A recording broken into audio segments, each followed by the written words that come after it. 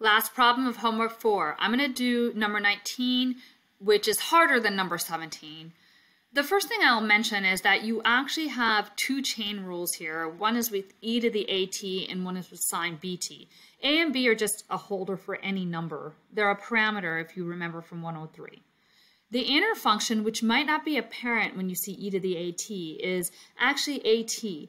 If you type in exponentials into um, Excel, you use this exp function. So that means e uh, take the exponential of at. So now you can clearly see your inner function's at. If you cover up the inner with your thumb and you replace your thumb with a t, then um, the outer function's e to the t. The derivative of the inner is easy, it's a. The derivative of the outer is just the same thing.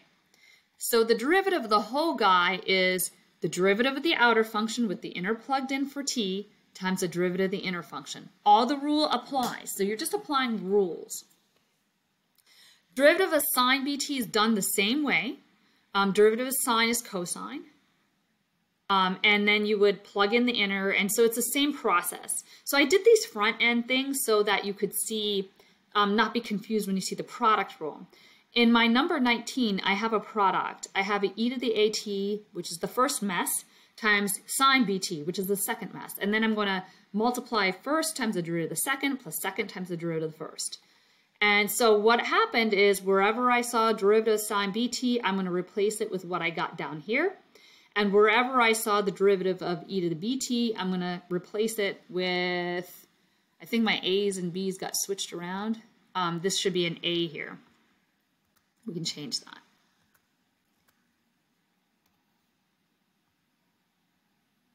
So let's just put that here. That's an A. I can say it's AT. All right, so um, that's what we do.